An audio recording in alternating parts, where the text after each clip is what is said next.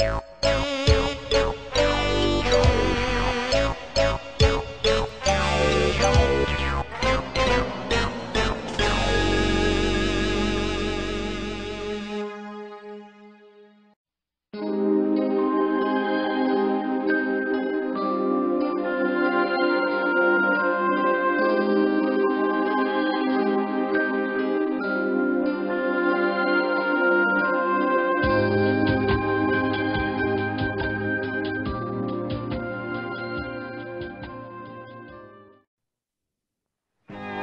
Everything's Archie. Archie's here. Betty's here. Veronica too. Reggie's here. Hey Jughead, where are you? The 1990s was a great time to be a kid. Who could ever forget those classic Kids WB and Fox Kids shows like Tiny Toon Adventures or Power Rangers? Also, wearing your cap backwards and having a pair of shades made you think you were the coolest kid in the block. If there ever was a big thing that kids have debated and fought over in discussions during recess or lunchtime, it would have to be the very first console war between Nintendo and Sega Mario vs. Sonic. If you're a Sega kid, you're buying all the Sonic merchandise, playing all the Sonic games that came out of the Genesis Master System and Game Gear. Shoes, watches, McDonald's toys, watching the cartoons, and reading the comics. During the 1990s, Archie Comics acquired the rights to make Sonic the Hit, Radical Dude with a Tude, new and upcoming star, his very own comic book. Founded in 1933, Archie Comics is also the title of the company's longest running publication. Well, Archie. yeah, wonder how cool it'd be if DC or Marvel would name its itself after its own comic characters. Anyway, off topic here.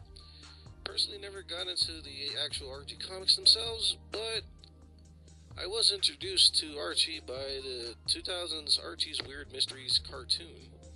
Not one of the best ways to get introduced to the franchise, but hey, it's a start. Uh, the company has lasted this long. From what I can gather, it's a story about a redhead freckled teen hanging out with his friends and is also a ladies' man, constantly having two girls fight over him. Sounds to me like another typical anime plot. But over the years, the comic has dealt with some rather interesting topics and crossovers from, for instance, characters dating either people of the same gender or different race, teaming up with the likeness of Kiss and even the Punisher. And they've even killed off Archie himself in one of the side comics as well. So they have been doing something after all these years to still keep in business. And it's also helped that they've been publishing other comics as well, such as Sabrina the Teenage Witch, and some superhero comics, The Fly, Mighty Crusaders, and recently in 2011 acquired the rights to do a Mega Man comic, just to name a few. Uh, during the years, they came out with several animated comics, I mean, cartoons based on their hit cart, uh, blah, blah, comics Sabrina the Teenage Witch, and of course Archie during the late 60s and 70s, even the 80s, and with the show I just mentioned earlier in the early 2000s. As of the making of this video, the main Sonic comic series is currently over 260 I- issues long. This is by far the longest uh, uh, comic book ever that is based on a video game. That is really awesome. The series is the main basis of the Archieverse, with several spin offs, comics such as an adaptation of Sonic X and a brand new Sonic Boom, specials that have features more game elements and crossovers with other comic books and video game characters throughout the years. The series features a mixture of characters, settings, and storylines from the so- Sonic Saturday AM cartoon show, the Sonic the Hedgehog video game by Sega, and various other incarnations of Sonic. It also includes many elements unique to the comic universe. The comic has recently received a reboot in its issue 252 due to the events that took place in the Sonic and Mega Man 12 issue crossover, Worlds Collide.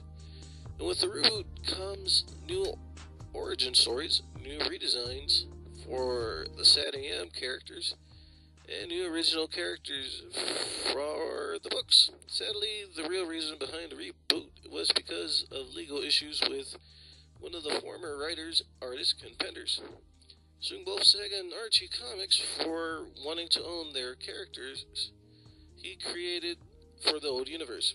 And oh boy, did he make a lot of important ones that were important to this to certain plots of the comics universe. Penders eventually won the rights to his characters. However, if he were to make his own comic, he can no longer use the original character design since Sega owns that Sonic the Hedgehog look, and Archie Comics can publish and sell the older comics with those characters, but can no longer use them on the reboot.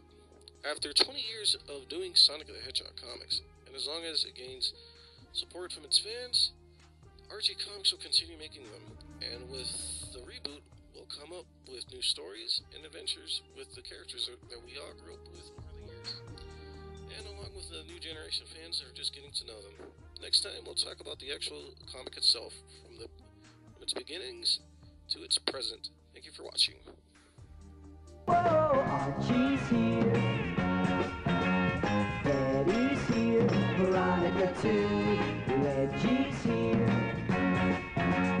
Here comes Jughead and Hot Dog too. So everything's Archie. Come on, let's go with the Archie Show.